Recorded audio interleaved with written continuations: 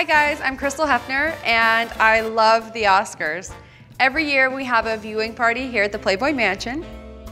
And I have some tips and tricks today for you to use for your Oscar viewing party at home.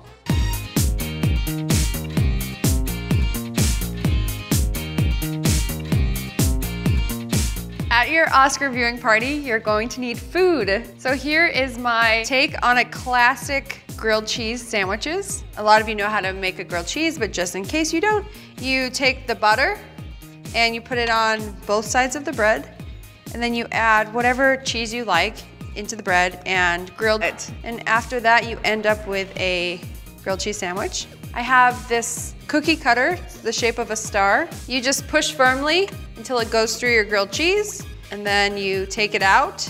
There you go, you have a grilled cheese star which represents, you know, stars in Hollywood. And also we have the Hollywood Walk of Fame. We have a replica actually of Hef Star outside. They're nice little appetizer. You could hand them to people as they walk in. Your guests are going to need a drink to go with their food. So I came up with this great idea to have a little mini bottle service. So what you're gonna do, you're gonna take a little cup like this that we're gonna use as a mini ice bucket. You're going to put in your champagne and add some ice. And there you have it. You have your own little bottle service that you can walk around with and you just add a straw and it's perfect. Here is another Oscar drink idea.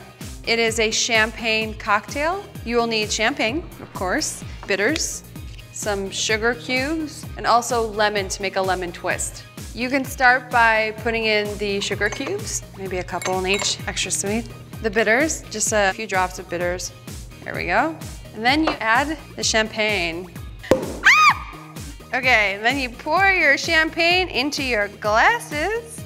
Oops.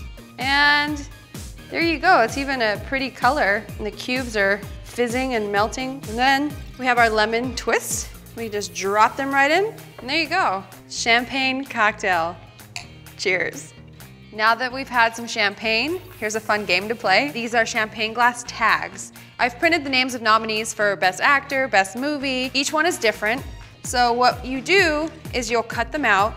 This one is Steve Carell, and he's nominated for Best Actor and Foxcatcher. We are going to put that right on our glass. Everyone has a different nominee on their glass. That's a good way to tell which drink is yours because they're all different. And then also, if your nominee wins, you get a prize. So it just, it just makes it more fun and exciting to enjoy the Oscars with your friends. My final Oscar idea is a Oscar ballot. We have a ballot every year here at the Playboy Mansion. This particular one could be printed out on glam.com. It is printed on this kind of shiny champagne color paper. We have a gold pencil to go with it. You could either tape the pencil on or you can hole punch and put the pencil through so it looks all fancy like this. It's super fun to guess and compare notes. You could always bet money as well. Add an extra element of excitement to the Oscars. I hope you enjoyed these Oscar ideas. They're inexpensive ways to glam up your Oscar party and make it an evening that your friends don't forget. See you next time.